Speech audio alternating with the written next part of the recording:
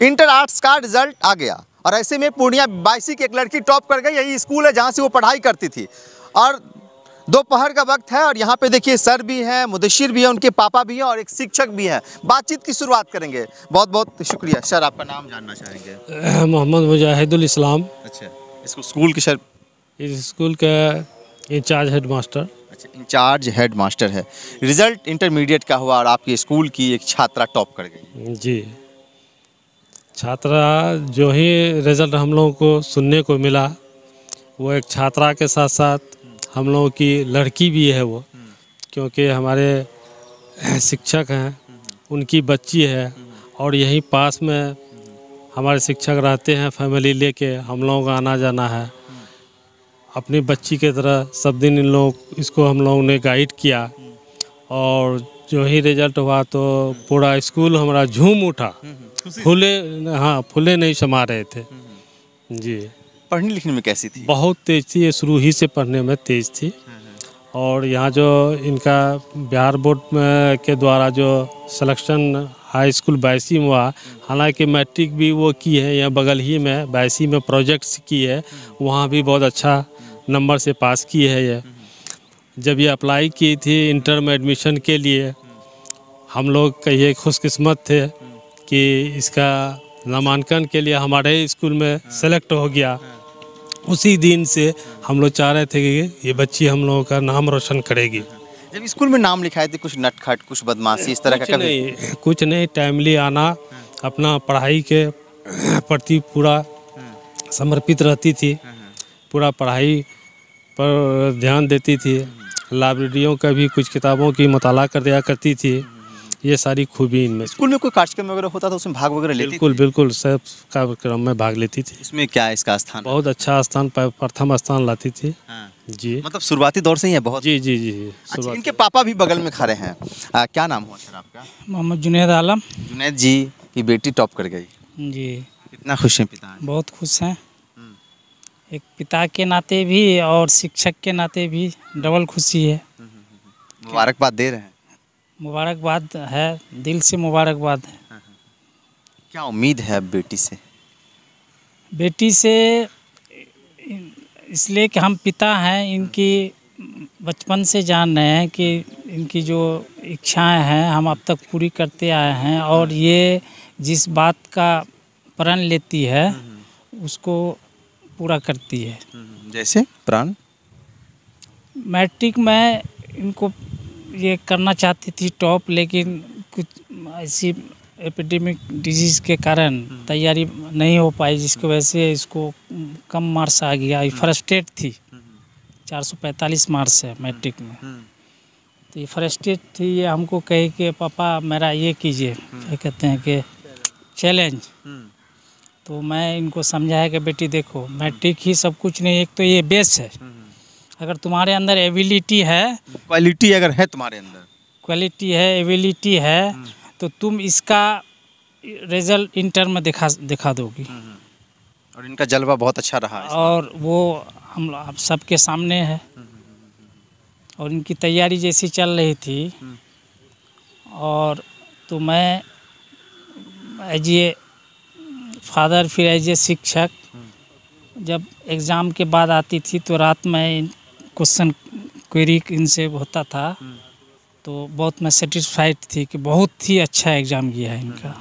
Rank आज आना ही आना है।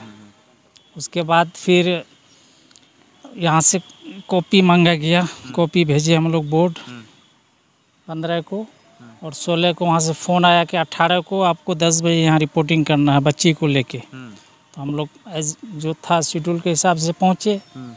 उसके बाद इनसे मैंने ज़बरदस्त जैसे बीपीएससी यूपीएससी का इंटरव्यू होता है जस्ट उसी तरह से पूछताछ किया पूछताछ किया गया। उसके बाद फिर बच्ची बाहर निकली बड़ी खुश थी कि पापा हम तो फ़र्स्ट में घबराए हुए थे लेकिन बहुत अच्छा गया है मेरा ये और रैंक आना ही आना है।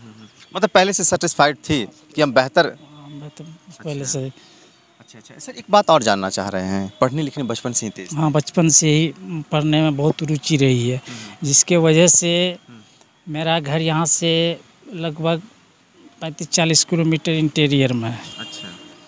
तो इन लोगों की जैसे बचपन में तो मैं खुद इन लोगों को ये की खास करके राइटिंग।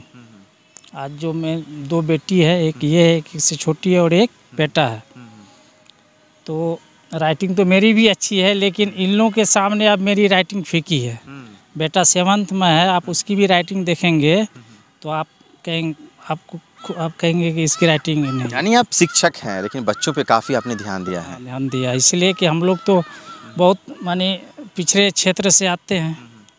और आप अगर बच्चे को किसी के हवाले करते हैं तो आज मोटी रकम चाहिए। इसी वजह से इन सब हालात को देखते हुए मैंने अपना घर बार छोड़ा। कि जब हमको डेली स्कूल आना ही है तो क्यों ना परिवार को ही साथ रखा जाए। इससे अपना हरासमेंट भी कम होगा और वो टाइम हम बच्चों में देंगे। इसी स्कूल में है सर आप? इसी में स्कूल में। इसी स्कूल में आप पढ़ाते हैं और इसी स्कूल से आपकी बेटी टॉप कर जी जी।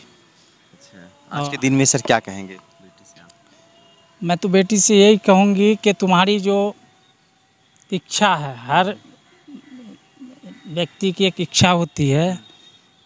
तो मैं हर मुमकिन इनकी इच्छा को पूर्ण करने का प्रयत्न करूँगा और तन मन धन से मैं इनके साथ हूँ।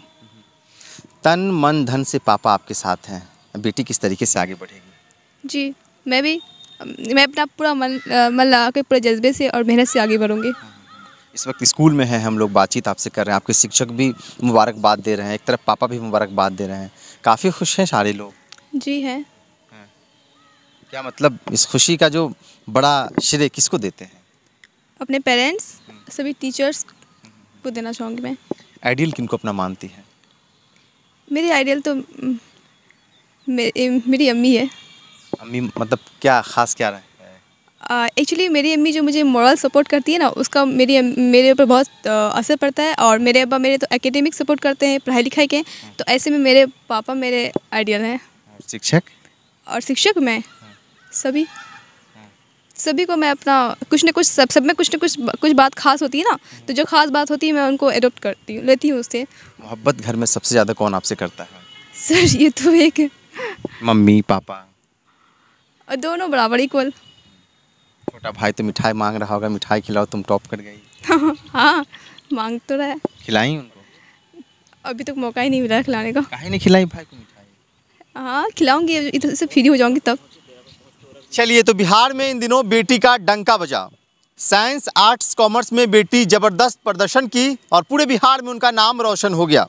बिहार के पूर्णिया में है और ये बैसी ऐसी स्कूल से मुदस्सर पढ़ाई करती थी और इंटर आर्ट्स में वो टॉप कर गई। उनके शिक्षक भी हैं, उनके पिता भी हैं और यहाँ पे मुदस्सर भी खड़ी हैं। बातचीत के दौरान कहती है कि हम सबको सम्मान, सबका इज़्ज़त करते हैं और इस मामले में मेरी माँ बहुत ही ज़्यादा हमको सपोर्ट करती थी। और बहुत ही ज़्यादा हमको प्यार, मोहब्बत भी करती थी। हम सबका सबका सम्मान करते हैं और इज़्ज़त करते हैं। और एक बड़ी ज़िम्मेदारी है, जिस ज़िम्मेदारी को हम पूरा करेंगे इनके पिता का कहना है कि लगातार हमारी बेटी आगे बढ़ेगी। और इनका ये कहना है कि हम पढ़ लिख कर एक आई ऑफिसर बनेंगे। समाज के लिए, देश के लिए, राज्य के लिए हम बेहतर करेंगे और सभी लोगों की बातों को प्राथमिकता से हम सुनेंगे। इस वीडियो को ज़्यादा से ज़्यादा शेयर कीजिए, लाइक कीजिए, कमेंट कीजिए। बहुत बहुत शुक्रिया। धन्यवाद।